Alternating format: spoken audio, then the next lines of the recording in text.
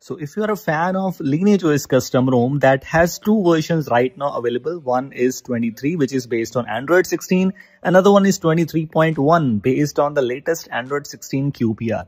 The one which is based on QPR 1, the one which is now Material Expressive is not official one right now while making this video, maybe soon for now it's not here, uh, but unofficially available for many devices. But let's have a quick look at some of the things, some of the differences you'll find in both of these.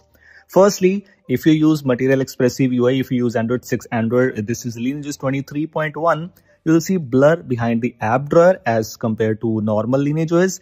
Next one, you will see a new quick settings panel.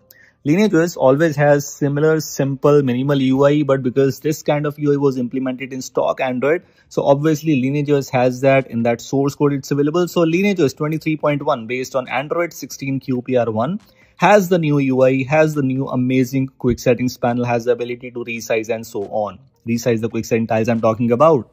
If you move on to wallpapers and style section, you will, see, you will see a major difference in both of them. If you use Lineage 23, which has a simple, which is same kind of thing with Android 15, 16, 14 and so on. But with Lineage 23.1, we have a different UI in wallpapers and style. If you want to know more about this new UI, that's available with Android 16's QPR1 update, available in many other custom ROMs and also in stock Android also. Kind of similar things to that because this is not a custom Lineage's GSI or you can say custom edition. It's a simple unofficial edition which will be there for the stable version also, for the official version also. So no worries regarding that. You have the option for these themed icons and so on. Although in case you are not aware of, with latest Android 16 QPR2 which just rolled out yesterday has the option for icon shape customization. So whenever Lineage OS based on QPR2 will come, you will see new features and new customization there.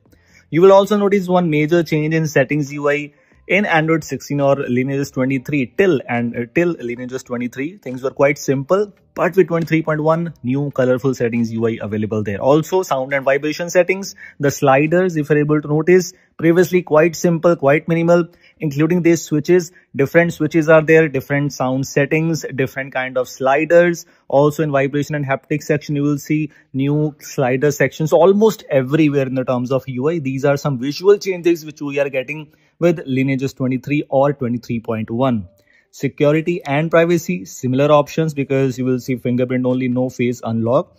But if you move on to this trust option which is pre-installed available in lineage os you have material expressive enabled in this case. In 23.1 i'm talking about. In 23 simple minimal no ui changes at all. Volume panel also has some tweaks available. If you see this these tweaks in Android 16 QPR1 which is Lineages 23.1 in this case, new volume slider, new volume panel, but previously simple expanded volume panel. So let me know whichever you prefer on your device because many users love Material Expressive because Lineages 23.1 has that so many users might install that custom on their devices. New status bar icons obviously, new, new battery icon, new Wi-Fi icon and so on. Also the new recents panel in case you're not aware of. Recents panel has a new UI features or uh, things are kind of same the options as you can see but the UI has changes available here and there. A lot of other things are available so these are some visual changes just wanted to let you know. Both of the ones are okay. Right now while making this video, Lineage 23 is available officially and Lineage 23.1 available unofficially. If it is available, you can give it a try. This is it. Thanks for watching. Hope you like this video. I'll see you in the next one. Take.